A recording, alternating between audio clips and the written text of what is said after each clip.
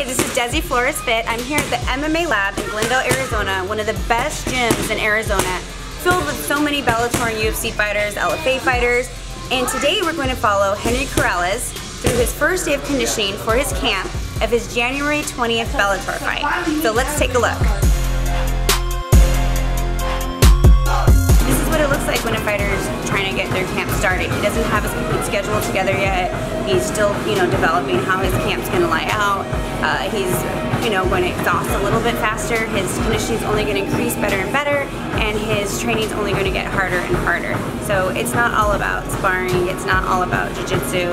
They have to prepare their bodies uh, like any other athlete and um, work on their strength and conditioning.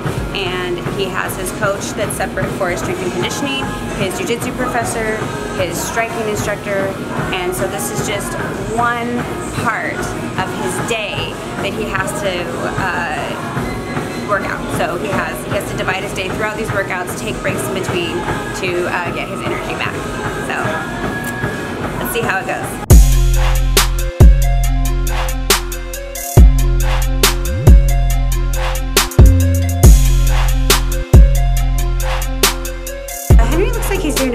He's starting his camp with a great physique. I know, like any athlete, you're hard on yourself. You know where you can be. You see where your body. You've seen your body in um, top shape before. So, as far as he feels, he's expressed that he feels really out of shape. That he feels like his conditioning is not there anymore. He feels like his body's not there anymore. But he's a professional athlete. He looks absolutely amazing. Everything he's doing looks amazing. But it's going to be it's going to be really awesome to see how he progresses from today to the footage right before his fight.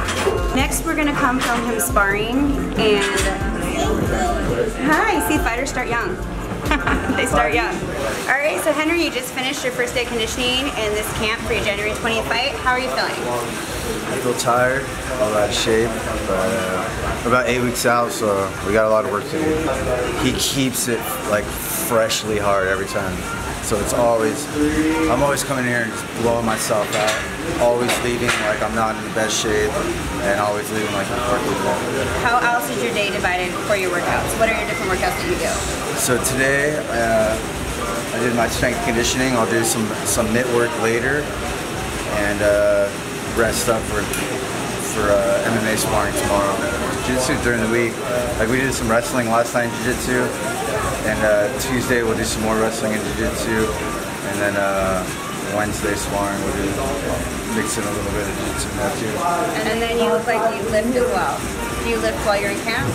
Uh, so what we did today was pretty much the type of lifting that I'll be doing, like some circuit stuff. He's doing an amazing job, but to him, he feels like he's tired, exhausted, so it's going to be really fun watching him as he goes along his camp.